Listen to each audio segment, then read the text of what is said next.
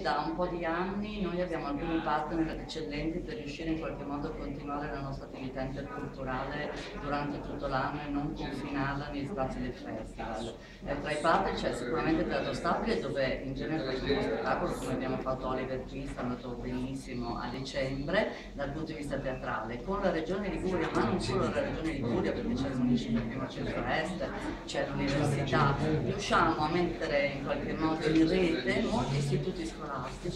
molte eh, realtà formative e andiamo come compagnia nomade di artisti di diverse provenienze nelle scuole a raccontare come l'arte ha da sempre valorizzato le differenze. E quindi in qualche modo una testimonianza, un esempio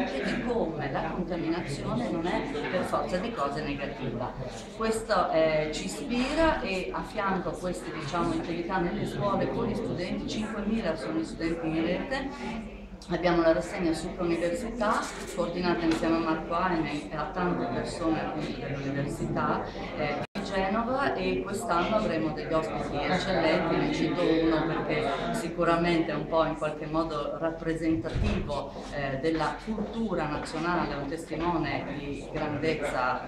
veramente non eh, eccellente che è Goffredo Fofi e insieme a lui abbiamo Lucio Demetrio, verrà anche eh, Peter Gomez a parlare di come si può fare comunicazione e di come si diventa piazza virtuale, ci saranno Papotti, Luca Borzani, tantissimi studiosi e questo direi è aperto alla cittadinanza tutta e speriamo che siano incontri interculturali e intergenerazionali perché questo a noi interessa.